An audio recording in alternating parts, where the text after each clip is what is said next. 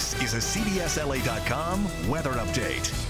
Hi, everybody. I'm meteorologist Amber Lee. We're starting off the first official week of fall here in the Southland, feeling more fall-like, and that's because we have a low pressure system to the north of us, spinning in a lot of the clouds, and you'll notice that we still have some lingering cloud uh, clouds to the south of us in areas like southern Orange County, stretching all the way to San Diego. It may take a little bit longer for a lot of these beach communities to clear, but other beach communities like Santa Monica, you see in the background, have cleared up nicely too, with lots of sunshine, but temperatures still staying slightly below average today. 70 73 a little bit south of Santa Monica and Long Beach with the winds picking up from the south at 9 miles per hour. Temperatures out the door. We're starting to see some low 80s for Van Nuys, 79 for San Bernardino, 91 for Lancaster, and 77 for Fullerton.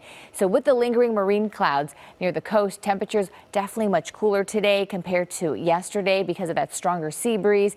And then we have this upper level trough that is pushing through the area and should be lifting out once we head into the middle of the week. So you can see right behind this low pressure system, we have a high that will warm things up starting Wednesday to above average territory. That's going to allow that marine layer to shrink for Wednesday and Thursday. But then by the time we head into the latter part of the week, there's a cutoff low, and this has a mind of its own, but it looks like it's wobbling to the north in Northern California, and it could bring the first fall rain for the state, but it won't bring us any rain here in the Southland, just much cooler and breezier conditions once we head into Friday and Saturday. So here's a look at our seven day forecast today. A little cooler than normal, 72 for the coast, 79 for LA and Orange County Metro, 87 for the valleys, slowly warming up nicely. Check out the beaches on Thursday, looking at temperatures almost in the 80s and almost into triple digits for the valleys before things slowly start to cool back down again for Friday and Saturday. So it's that up and down type of pattern for the next few days.